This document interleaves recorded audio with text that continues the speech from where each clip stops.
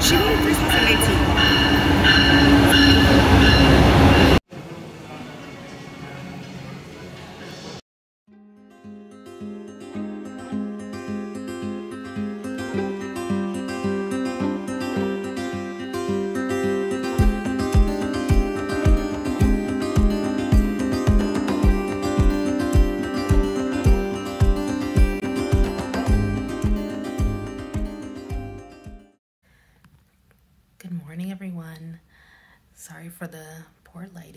Today I'm going to be sharing with you our first experience taking the Orlando Brightline. We had such a great time, and I figured I would share some of that experience with you today. All right, let's go. So we arrived to the Brightline train terminal around 5 a.m our train was departing Orlando at 5:50. So we arrived bright and early and the terminal was just so beautiful. I mean, just look at it. It is such a beautiful beautiful station. And over here you can see the Mary Mary bar and cafe. it was incredible. They had pretty good food we got a little bit of breakfast from there, um, just some gluten free bagels, but it was so delicious. And you can see the board here. Our 550 train would be departing soon. Um, one thing that I really did appreciate and enjoy about the Brightline is that kids between the age of 2 to 12 ride for 50% off.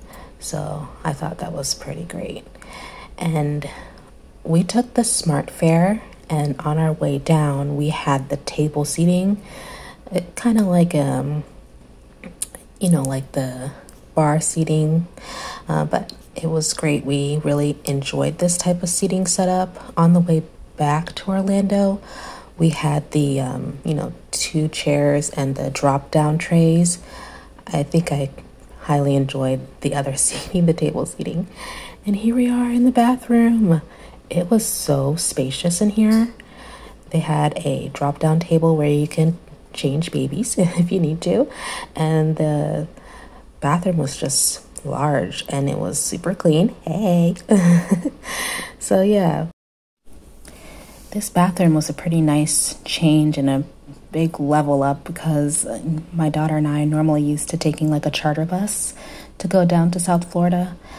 So, this was a pretty big and clean bathroom compared to something that you would see on a small charter bus. But anyway, here I am showing you some of the views from our window going down to, we went to Palm Beach. Um, on our first ride down. So we went from Orlando to Palm Beach, and so this was pretty nice to see, you know, the water and um, see some of this views and scenes going down to South Florida the views while we were on the train mainly consisted of some palm trees and boats and just everything that you would imagine when you're going down to South Florida.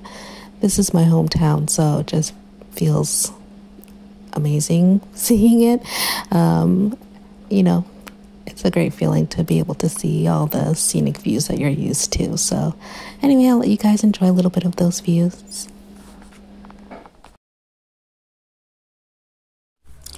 So here we are arriving to West Palm. And one thing I will say when you do arrive to your destination is to be ready. Have all your stuff gathered because you have two minutes to get all your things and get off that train. But this is the train station over in West Palm. It's pretty nice when we walk through the lobby. This is the um, I don't know what do you call it, like a tarmac where you get off of the train. I don't know. um, but yeah, we didn't really get to stay in this lounge for too long. Uh, we kind of just passed through because we were meeting with my mom. Uh, so we went through really quickly. So even though we didn't stay in the West Palm uh, lounge for very long, one thing I must say is that all of these lounges are just so beautiful. The one in Palm Beach, and then here we are in Fort Lauderdale. We spent the most time in the Fort Lauderdale Smart Lounge, and I will have to say, it felt like the coziest one. it was just so relaxing, and maybe the day that we went, there really weren't that many people in the lounge, so we got to really relax. And over there is that premium lounge. Um, we had the smart fare, so we didn't go in the pre- premium lounge. But here I'm trying to show you guys the menu of what they had available at the train station. But yeah, so here we are waiting for our train. And one thing I must say is make sure that you're waiting at the correct, um, I guess, track. Uh, we were waiting at track two, but our smart, um, our smart pass was actually our tickets were supposed to be at track one, so which was on the complete other side of this area. So when we were boarding, we had to pretty much hightail it to get on the train on time. But anyway, we did make it, and here we are. I'm just showing you guys some of the outlets that are available on the train. One thing I will have to say about this is is that the placement of these outlets felt a little awkward to me, but it is convenient to have these extra outlets, so I don't know, take it with a grain of salt. Okay, so it's actually been a couple of months now since we um, had our first experience on the Brightline, and I realized I never made like a outro to the video um, and my final thoughts on the Florida Brightline. So I wanted to just get back on here and tell you guys that, yeah, we really did enjoy our first um, experience on the Brightline, and I would absolutely take it again. Uh, so I actually have plans for us to go back down to South Florida in the summer, and we'll more than likely take the Brightline again. Um, one thing that I absolutely loved about the Brightline that I didn't really get to touch on is that they have um, the employees that work there come down through each um, each uh, down the aisles while you're there um, to go ahead and provide like snacks and drinks and things like that. Um, when you're in the smart seating, those um, snacks and beverages you do have to pay for them. I think when you're in the like the more luxury seating, those are free, but I'm not 100% positive. I have to look into that again, but I'm pretty sure. Um, and I also love the internet speed on the Brightline. Their Wi-Fi is extremely fast. There was no lag to it at all, which was amazing. Um, so if you have kiddos riding with you and they have their tablets or, you know, whatever it is that your kids use, um, yeah, they can connect and the internet speed wouldn't wouldn't drop on them or anything like that.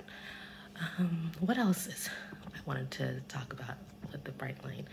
Um, yeah, it was honestly just a great experience.